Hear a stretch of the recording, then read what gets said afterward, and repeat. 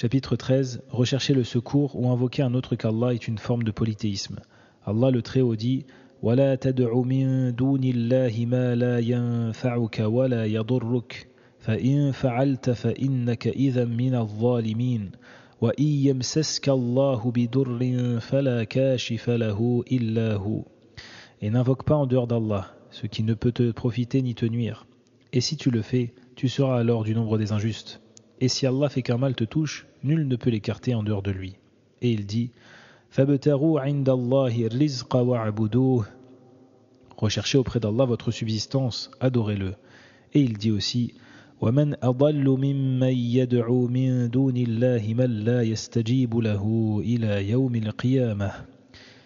Et qui est plus égaré que celui qui invoque en dehors d'Allah, celui qui ne saura lui répondre jusqu'au jour de la résurrection Et il dit encore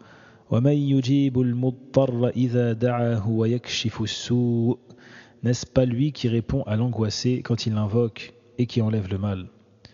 At-Tabarani rapporte selon sa chaîne de rapporteurs il y avait un hypocrite du temps du prophète qui causait du tort aux croyants. Certains d'entre eux dirent Allons donc demander secours au prophète alayhi contre cet hypocrite. Le prophète dit alors Ce n'est pas à moi que l'on demande secours, c'est à Allah. Les points à retenir.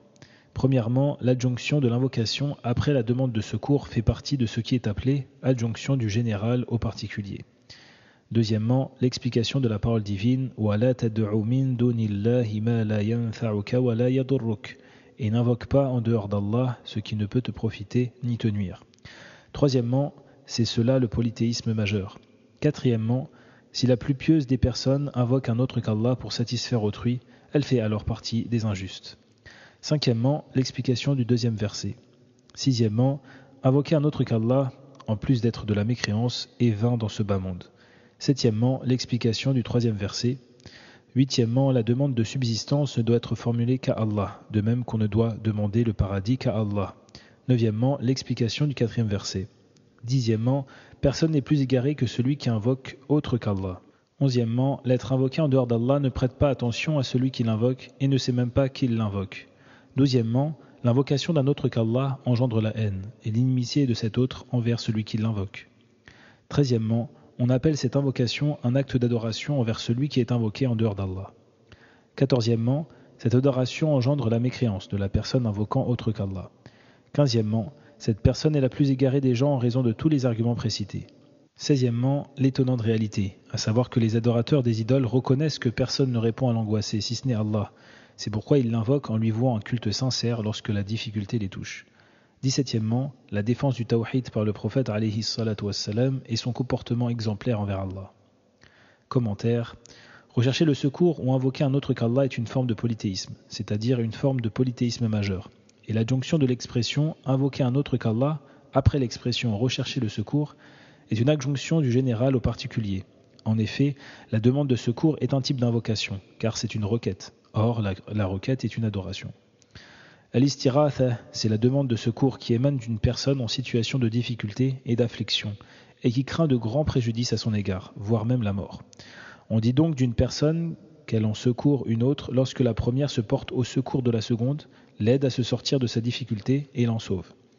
Al-istiratha est donc la demande de secours.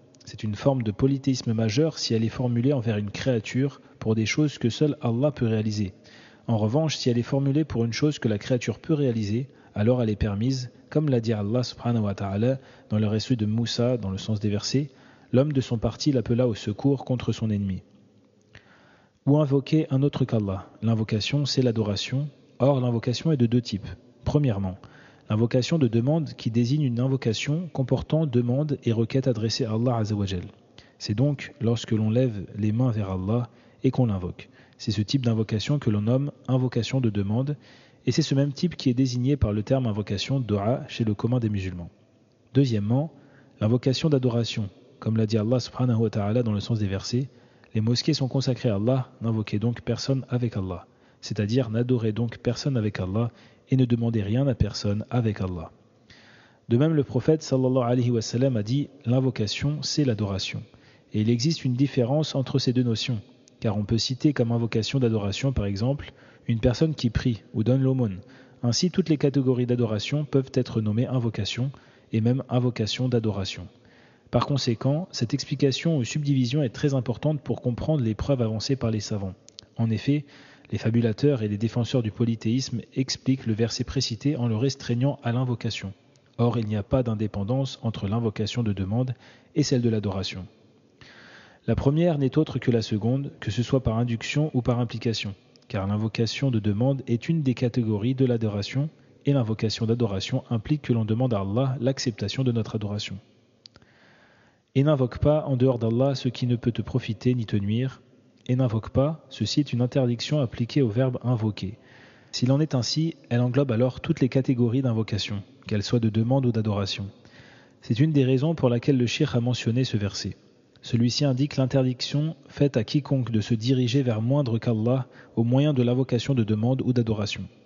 Cette interdiction revêt d'ailleurs une importance toute particulière du fait qu'elle a été adressée au prophète élu sallallahu alayhi wa sallam, qui est le guide des pieux et des monothéistes en dehors d'Allah. Cela englobe le fait d'invoquer autre qu'Allah en plus de lui, mais aussi en dehors de lui de manière indépendante. Ce qui ne peut te profiter ni te nuire. Le terme ce englobe les êtres doués de raison, comme les anges, les messagers, les prophètes, mais aussi ceux qui en sont dépourvus, comme les statues, les arbres et les rochers. Allah dit à son prophète sallallahu alayhi wa sallam dans le sens des versets Et si tu le fais, c'est-à-dire si tu invoques un quelconque être en dehors d'Allah, cet être étant caractérisé par son incapacité à apporter un bienfait ou une nuisance, tu seras alors c'est-à-dire en raison de cette invocation, du nombre des injustes. Injustice citée ici désigne le polythéisme. Par conséquent, dans l'éventualité où il commettrait un acte de polythéisme, le prophète sallallahu alayhi wa sallam, dont Allah a parfait le tawhid, serait du nombre des injustes et des polythéistes, mais loin de nous cette pensée. Cela implique que toute personne de moindre degré que lui, qui n'est pas infaillible et à qui l'infaillibilité n'a pas été octroyée, se doit d'éprouver une peur plus grande et une crainte plus forte encore à l'égard du polythéisme. Puis Allah Azzawajal a mentionné la règle générale concernant l'invocation d'un autre que lui, qui coupe les liens du polythéisme attaché au cœur en disant Et si Allah fait qu'un mal te touche, nul ne peut l'écarter en dehors de lui. En effet, si Allah te touche par un mal, qui donc le dissipera? Ne le dissipera que celui qui l'a prédestiné et décrété à ton égard. Ceci empêche donc toute orientation vers autre qu'Allah Azzawajal. Néanmoins, le législateur a toléré que l'on demande à un être vivant et présent de réaliser une chose qui entre dans ses capacités, qu'il s'agisse d'attirer un bien ou de repousser un mal. En effet, Allah a fait de cet être vivant une cause qui peut dissiper le mal par sa volonté. Mais véritablement, celui qui le dissipe n'est autre qu'Allah Azzawajal. Un mal, le mal cité ici est un nom indéfini, dans un contexte au conditionnel. Par conséquent, selon les règles de la grammaire arabe, cela englobe tous les types de mots, qu'ils soient religieux, matériels, corporels, financiers, familiaux, etc. Recherchez auprès d'Allah votre subsistance, adorez-le. La construction originelle de la phrase est Recherchez votre subsistance auprès d'Allah. Le complément circonstanciel auprès a donc été mis en avant.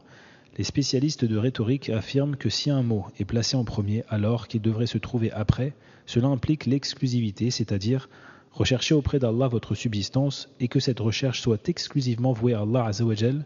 Recherchez donc le secours de personne d'autre que lui concernant votre demande de subsistance. Le terme subsistance est un nom général qui englobe toute chose qu'Allah peut donner ou dont il peut priver autrui.